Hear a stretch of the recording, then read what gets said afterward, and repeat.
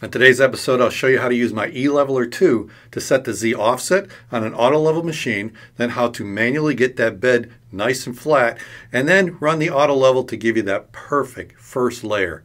I'll explain it all on today's Filament Friday. This video is sponsored by PCBWay. This video is also brought to you by the generous donations of my Patreon supporters.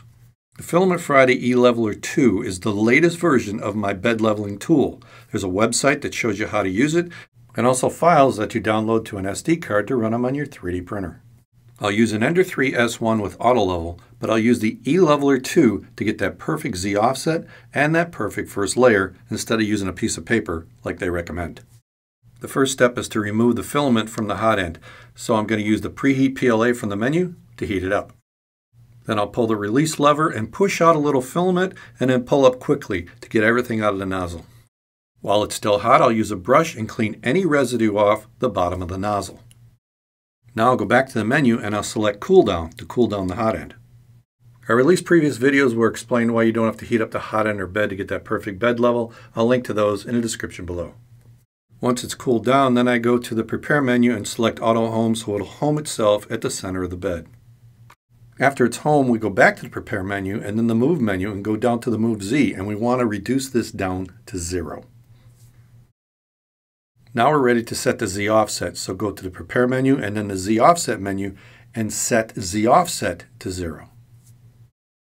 Now you want to try and slide the E-Leveler 2 under the nozzle. Adjust the Z offset in the positive direction to lift the nozzle until the E-Leveler 2 can slide under it. You want to position it so the nozzle is right inside the circle on top of the E-Leveler 2.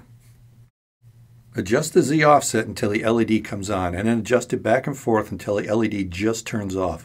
In my case, it's 2.96. Now remove the E-Leveler 2 and enter that value into a calculator, 2.96, and then subtract the thickness of the E-Leveler 2, 5.7 millimeters, and the answer will give you your new Z offset. It's going to be a negative number, negative 2.74. Now adjust the Z offset from a positive number to that negative number that you calculated, in my case, negative 2.74. Now we want to save that new Z offset, so we go to the Control menu and then scroll down to Store Configuration, and that'll store that new Z offset. Insert the SD card that has those files you downloaded for the eLeveler 2. Now you can run the eLeveler G-code file that you download from the eLeveler 2 website. It'll home the nozzle and then move to the left front corner. It'll stay here for about 30 seconds. Adjust it until the LED just comes on. Then it'll move to the rear corner. Adjust that until the LED just comes on. Do it at each corner. You got about 30 seconds and then it automatically moves. You can run it again if you need to.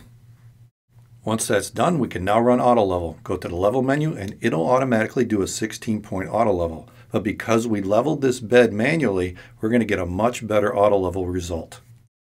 Now we're ready to test it, so I'll insert the filament back into the extruder all the way down to the nozzle, and then we'll run the squares test. Now we go to the print menu and we run the squares test just like you would any sample file. It'll heat up, home itself, run a test strip, and then it'll draw the squares. You should see no gaps, no bumps. It should come out smooth, just like this. So now you know you have a perfectly level bed and the proper Z offset using the E-Leveler 2 instead of a piece of paper. You can get your own E-Leveler 2 at the link in the description below, and you can also get circuit boards from PCBWay. PCBWay offers 10 circuit boards for $5 plus shipping. It's a great deal. They also have low-cost assembly service if you're looking for that. Just upload your Gerber file, tell them what features you want, and you'll get an instant quote. So check out PCBWay.com you like what I'm doing here, maybe check out some of the other videos popping up. If you want to help support the channel, Patreon is one way, or a membership at thangs.com. And if nothing else, click on that Filament Friday logo and subscribe. I'll see you next time right here at Filament Friday.